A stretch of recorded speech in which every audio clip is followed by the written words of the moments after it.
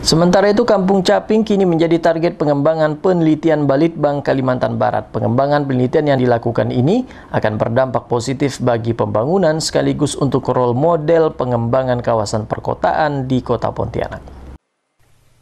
Banyaknya potensi yang dimiliki oleh Kota Pontianak untuk bisa dijadikan objek penelitian membuat Balitbang Provinsi Kalimantan Barat bersama pemerintah Provinsi Kalimantan Barat dan pemerintah Kota Pontianak bekerjasama mengembangkan penelitian salah satunya adalah Kampung Caping yang terdapat di Kecamatan Pontianak Tenggara.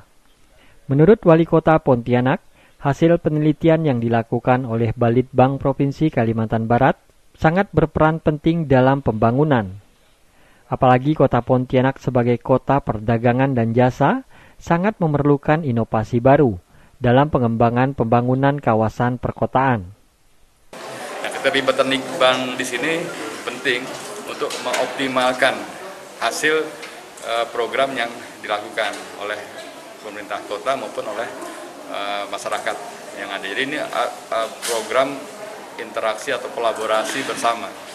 Nah, apa pun permasalahan di kota, apalagi di, di era pandemi ini, lebih akan optimal dan efektif kalau melalui litbang.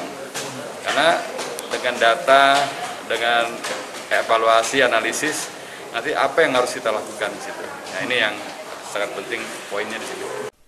Edi berharap hasil penelitian oleh Balitbang Provinsi Kalimantan Barat nanti bisa diimplementasikan bagi pembangunan. Dari Pontianak, Barlian Pasore, iNews melaporkan.